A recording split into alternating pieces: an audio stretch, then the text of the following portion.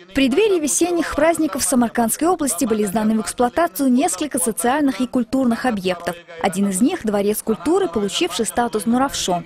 Первые попытки восстановить бывший дом культуры химиков, который был в удручающем состоянии, завершились провалами за нехватки средств. В январе прошлого года решением областного хакима была начата повторная реконструкция. После капремонта Дворец культуры стал единственным в нашей области, имеющий первую категорию.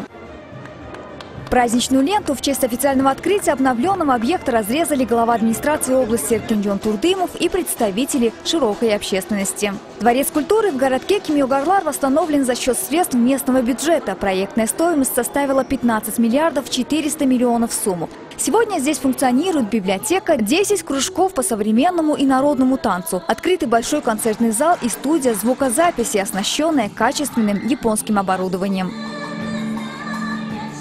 Участники мероприятия считают, что Дворец культуры станет новым домом для молодежи и будет способствовать раскрытию творческих талантов. Открытие нового объекта сыграло немаловажную роль в процессе бракосочетания молодой пары. Семейная чита Хайдаровых в присутствии гостей узаконила свой брак, обменялась кольцами.